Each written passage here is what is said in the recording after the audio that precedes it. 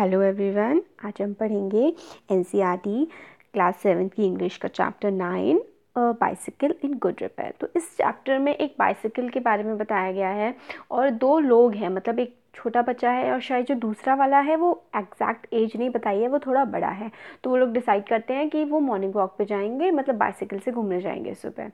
तो जो बड़ा वाला बच्चा है, वो आता है और उसकी छोटे बच्चे की पूरी की पूरी बाइसिकल को खोल देता है। तो क्या क्या होता है उसमें आगे, वो इस चैप्टर में बताया गया है। तो करते हैं हम start a man I knew propose one evening we should go for a long bicycle ride together on the following day and I agreed इसमें क्या होता है कि एक कोई आदमी है, वो बच्चे से कहता है कि हम एक बाइसिकल राइड पर चलेंगे कल को और जो बच्चा है वो मान जाता है।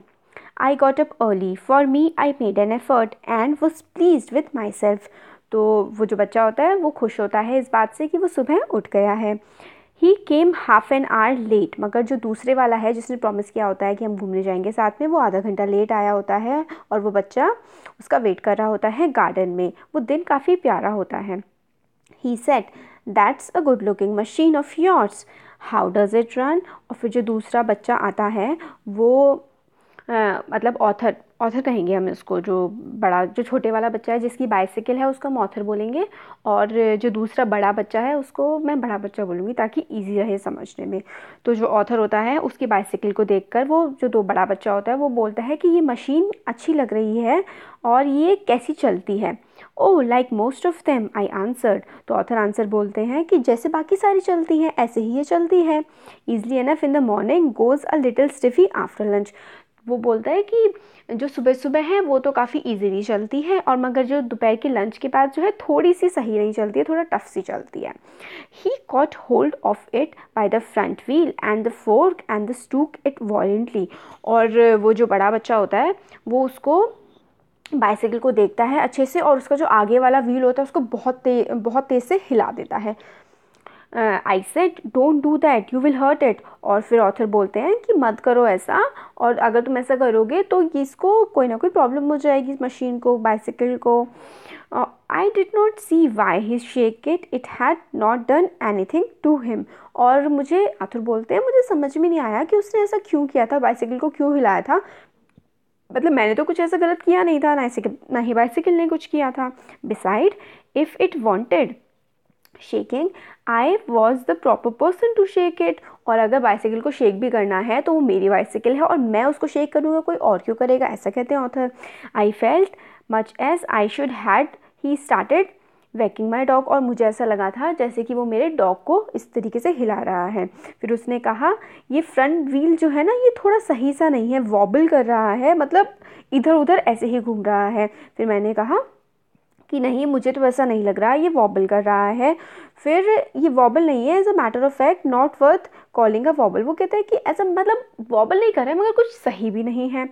He said this is dangerous have you got a hammer I ought to have been film but I thought that perhaps he really did know something about the business तो क्या होता है, जो ऑथर होता है वो फिर मतलब जो बड़ा वाला बच्चा होता है, वो कहता है कि ये इस तरीके से साइकिल का जो वॉबल करना है, हिलना है आगे वाले टायर का, ये बिल्कुल भी सही नहीं है। ये बहुत ज़्यादा डेंजरस हो सकता है। क्या तुम्हारे पास कोई हथौड़ा है? और अगर है तो दे दो, मैं इसको सही कर दूँगा तुम्हारे लिए। तो ऑथर को लगता है कि हो सकता है इसको ज़्यादा पता हो इस चीज़ के बारे में। तो ये, क्या पता मेरी साइकिल जो प्रॉब्लम हो रही है, वो ठीक कर दे। तो फिर जो ऑथर हैं, वो अंदर की तरफ़ चले गए, वो टूल बॉक्स ले आए, जिसमें सारी की सारी चीज़ें थी। और जब वो वापस आए तो उन्होंने देखा कि जो वो बच्चा है, बड़ा वाला, वो उनकी साइकिल का जो व्हील है उसके दोनों पैरों के बीच में है और उसने काफ़ी हद तक उसको निकाल दिया है और उसके साथ कुछ खेल रहा है, अपनी फिंगर से उसको घुमा रहा है और जो बाकी की साइकिल जो बची हुई है वो साइड में को पड़ी हुई है रस्ते के बीच में। He said it looks to me as if the bearing were all wrong फिर वो कहता है, मुझे लगता है ये जो साइकिल का बियरिंग है ना, ये बिल्कुल ही गलत है।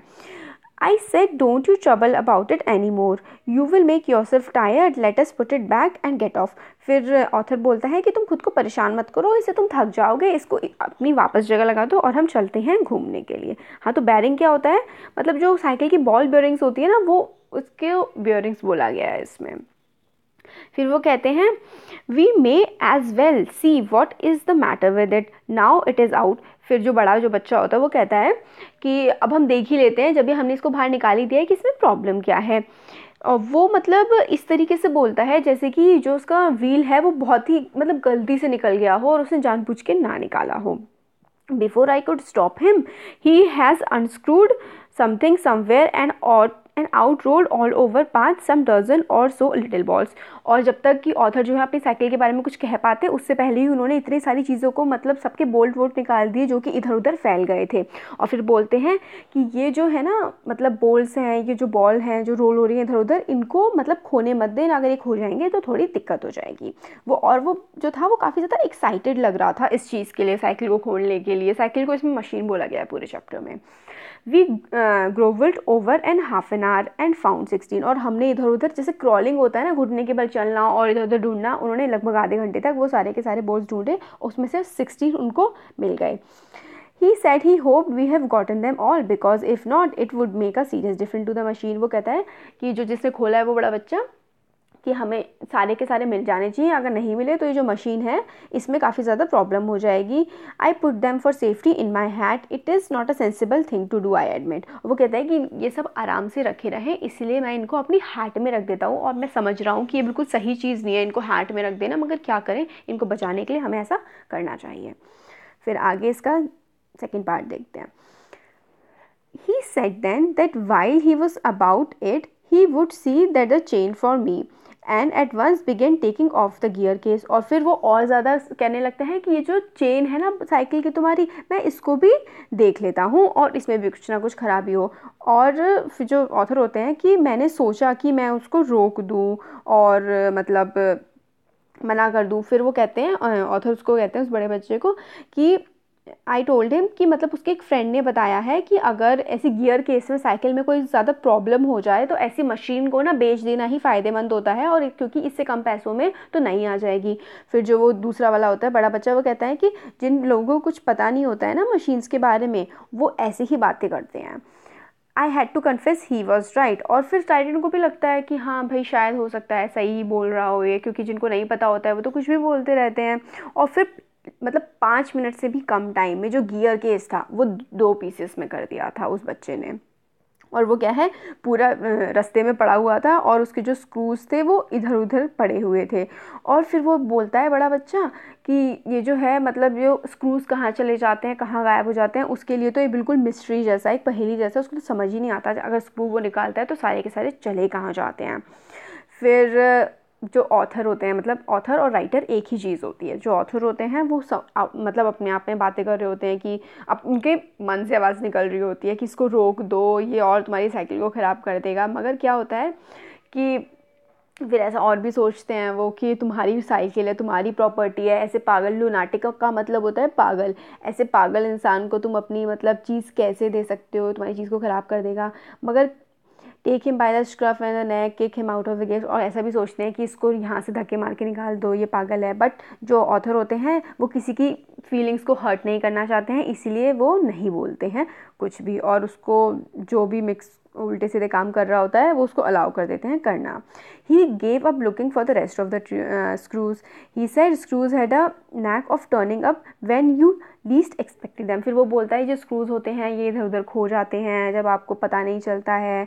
और फिर वो चेन को टाइट करने लगता है। एक बार वो चेन को इतना ज़्यादा टाइट कर देता है कि वो पहले से भी बहुत ज़्यादा टाइट हो जाती है और फिर जब वो बहुत ज़्यादा टाइट हो जाती है, चल भी नहीं पाती, फिर उसको इतना ज़्यादा लूज़ कर देता है कि वो बिल्कुल ज़्यादा ही लूज़ हो जाती है कि फिर भी वो यूज़ में नहीं आ सकती थी। फिर वो कहता है, हम लोगों को क्या क्या करना चाहिए कि हमारा जो ये आगे वाला व्हील है, इसको प्लेस पे, सही प्लेस पे लगा देना चाहिए। ये लिखा then we had better think about getting the front wheel back into its place again हाँ मतलब कि पहले वाला व्हील लगा देना चाहिए। I held the fork open and he worried with the wheel और मैंने जो फोक है, जो टूल था, उसको ओपन रखा और वो व्हील के बारे में सोचता रहा उस पर काम करता रहा। And at the end of ten minutes I suggested he should hold the fork and then I should handle the wheel and we change places और फिर मैंने कहा कि तुम एक बार जो है व्हील को पकड़ो और मैं हैंडल को प्लेस करता हूँ और फिर हम अपनी जो है, हमने अपनी प्लेस को चेंज कर लिया। At length we did get the thing into position और फिर कुछ टाइम बाद हमने जो थी साइकिल की, वो सही पोजीशन में लगा दी। And the moment it was in position we burst out laughing और जैसे ही वो सही पोजीशन में लग गई, हम लोग हंसने लगे। I said what's joke he said well I am an ass फिर मैंने कहा कि कितना मतलब मज़ाक, कैसा मज़ाक था ये। फिर उसने कहा कि मैं तो बिल्कुल ही गधा हूँ। और पहली बार मुझे ऐसा लगा कि मैंने उसकी मन से थोड़ी रिस्पेक्ट की क्योंकि उसने अपने आप को वही बोला जो वो एक्चुअली में था। आई आज him what had led led him to that discovery फिर उसने, फिर मैंने उससे पूछा कि ये सब तुम्हें कैसे पता लगी ये सब चीज़ें? He said we have forgotten the balls फिर वो कहता है कि हमने बॉल लगाना तो हम भूल ही गए इसमें। I look for my hat it was lying topsy turvy in the middle of the path फिर मैंने जो है वो हैट की तरफ़ देखा और वो उल्टी पड़ी हुई थी पाथ के बीच में मतलब रास्ते के बीच में। He was of cheerful disposition he said well we must put back all we find and trust to providence. और फिर उसने कहा कि चलो, हम जितने हमें मिल पाते हैं, उनको देख लेते हैं। और फिर जितने बचेंगे, फिर देखते हैं उनका क्या होता है, आगे देख लेंगे। हमको ग्यारह मिल गए थे जब हमने वो सारे के सारे बोल्ड जो ढूंढे थे। We fix six on one side and five on the other. तो हमने छः एक साइड लगा दिए और पाँच एक साइड लगा दिए। और लगभग आधा घंटे के बाद जो व्हील था, वो हमने फिर से वापस उसी पोजिशन में लगा दिया। It need hardly be added that it really did wobble now और अब जो था व्हील जो वो पहले कह रहे थे वॉबल हो रहा है, हिल रहा है। अब क्या था, एक तरफ़ छः स्क्रूज थे और एक तरफ़ पाँच थे तो अब वो वाकई में सच में हिल रहा था। A child might have noticed it he said it would do for the present अब मतलब वो इतना ज़्यादा हिल रहा था कि एक छोटा बच्चा भी उसको नोटिस कर सकता था और फिर जब वो जिस इंसान ने, वो जो बड़ा बच्चा था, जिसने सारी की सारी साइकिल की टायर वगैरह ख़राब किए थे, वो कहने लगा कि अब, अभी के लिए तो काफ़ी है, इससे काम चल जाएगा। I said watching you do this is of real use to me it is not only your skill that fascinates me, it is the, your cherry confidence in yourself. फिर जो ऑथर होता है, वो उससे दूसरे बच्चे से कहता है कि मेरे को मतलब अच्छा लगा, काफ़ी मज़ा आया, तुमको ये सब काम करते हुए देखते रहे। मतलब तुम्हारी सिर्फ़ और सिर्फ़ स्किल ही नहीं, जो तुम्हारा कॉन्फिडेंस है खुद पर कि तुम ये सब कुछ कर सकते हो, उसको देख कर भी मुझे काफ़ी अच्छा लगा। Thus encouraged he set to work to refix the gear case और फिर इस बात से उसको दूसरे जो बड़ा बच्चा था, उसको थोड़ी एनकरेजमेंट मिल गई और वो फिर से गियर केस को फिक्स करने के लिए बैठ गया। He stood the bicycle against the house and worked from the off side और फिर दूसरी, उसने क्या किया? एक दीवार से, घर की दीवार से लगा दिया और दूसरी तरफ़ से साइकिल पे काम करने लगा। Then he stood it against a tree उसके बाद उसने उसे ट्री से लगा दिया और फिर उसके बाद काम करने लगा। Then I held it for him while he lay on the ground with his head between the wheels and worked at it from below फिर उसके बाद मैंने बाइसाइकिल को पकड़ा और उसने उसको नीचे से उसमें काम किया। And dropped oil upon himself और जब उसके नीचे से काम कर रहा था तो खुद के ऊपर उसने ऑयल भी गिरा लिया। Then he took it away from me and doubled himself across it till the he lost his balance and slid over on to his head और फिर उसके बाद जब वो खुद ही कर रहा था और मतलब उसका बैलेंस बिगड़ गया और साइकिल उसके ऊपर ही गिर गई, फिर उसका जो टेम्पर है, उसका लूज़ हो गया मतलब उसका धैर्य है, वो ख़त्म हो गया और फिर वो मतलब कुछ ना कुछ ऐसे ही गड़बड़ गड़बड़ सा करने लगा। The bicycle I was glad to see showed spirit और फिर मतलब मेरे को ऐसा लगा, जो ऑथर कहते हैं कि बाइसिकल ने थोड़ी सी स्पिरिट दिखाई और मतलब and the subsequent proceedings degenerated into little else than a rough and tumble fight between him and machine और फिर मतलब ऐसा लग रहा था जैसे कि बाइसाइकिल और वो जो बड़ा बच्चा था, वो आपस में लड़ रहे थे कि मैं मतलब कुछ नहीं होने दूँगी। बाइसाइकिल ऐसा कह रही थी और वो बच्चा कह रहा था कि मैं तो करके ही छोड़ूँगा। इस टाइप की उनमें कुछ बहस और लड़ाई हो रही थी, ऐसा लग रहा था देख करके। One moment the bicycle would be on the gravel path and he is on the top of it और एक बार क्या होता था? बाइसिकल नीचे होती थी तो वो उसके ऊपर होता था और उसको ठीक करने की कोशिश कर रहा होता था। फिर कभी वो नीचे लेट जाता था बाइसिकल ऊपर की तरफ़ हो जाती थी, तब उसको ठीक करने की कोशिश कर रहा था। Now he would be standing fresh in flushed with victory the bicycle firmly fixed between his legs और अब उसने उसको लेग्स के बीच में फंसा लिया था और उसे लगा था कि बस मैं जीत गया हूँ और ये ठीक हो गई है। मगर उसकी जो जीत थी वो काफ़ी छोटी थी और ज़्यादा देर तक नहीं टिकी और वो फिर से कुछ ना कुछ उसमें प्रॉब्लम आ गई। By a sudden quick movement, it would feel, it would free itself and turning upon him hit him sharply over the head with one of its handles और फिर मतलब क्या हुआ? जब उसने पकड़ रखा था, उसे लगा था ठीक हो गई, मगर वो उसका जो हैंडल है, फिर से उसके बच्चे के सर पे लगा, जो बड़ा बच्चा सही कर रहा था, और फिर से वो ऑलमोस्ट ख़राब सी ही हो गई। फिर क्या होता है? देखिए, जैसे कि इसमें ये इरीटेट हो गया, उसके ऊपर चढ़ा हुआ है, ऐसे ही वो कुछ काम कर रहा होता।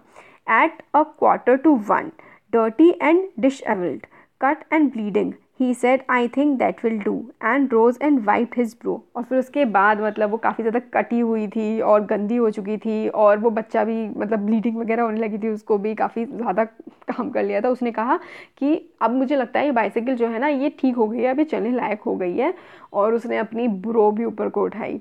Bicycle looked as if it also had enough of it और मतलब बाइसाइकिल को देख के भी ऐसा लग रहा था कि अब बाइसाइकिल भी इससे ज़्यादा और नहीं झेल सकती है।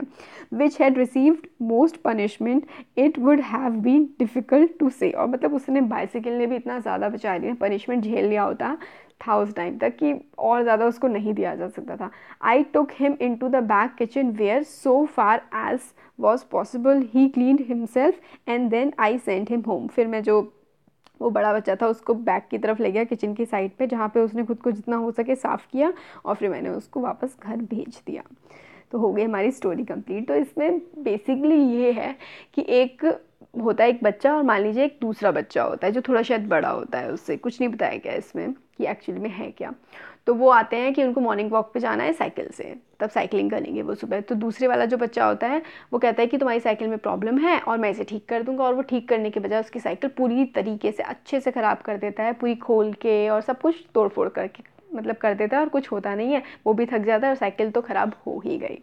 तो यहाँ पे हो गया हमारा चैप्टर कंप्लीट आपको कैसा लगा? कमेंट सेक्शन में कमेंट करके बता सकते हैं। अच्छा लगा। तो लाइक करिए वीडियो को और चैनल को सब्सक्राइब करिए. Thank you so much